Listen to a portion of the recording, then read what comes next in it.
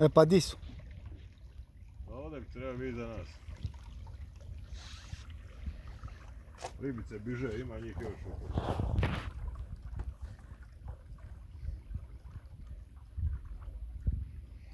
Voilà, voilà comment quelqu'un attend pour euh, filmer le thon.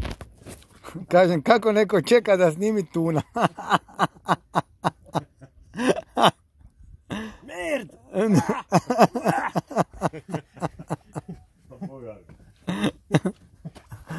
Sad. Ajde, šta to znači ideš komplat? Šta je to? Šta je to? To ti je baciti iz, iz e, brzine, jer stvarno nisi dalmatinac. Ja koji sam živio 30 godina u Belgiji moram te naučiti šta znači deš komplet. Sramotat. Si, E, pravo si.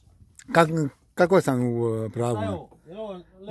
Tamo ti je, sad tamo sam upalio, vidiš da mi je porat bija na desnu stranu. I ugasio si oba dva motora, nijednoga nisi deš kumpla.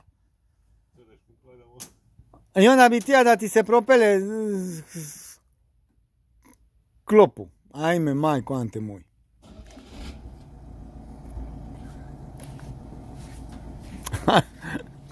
Kakvi ti ovo?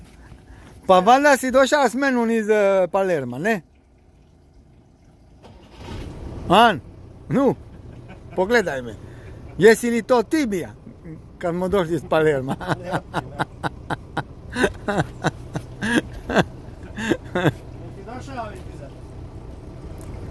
Ne znam.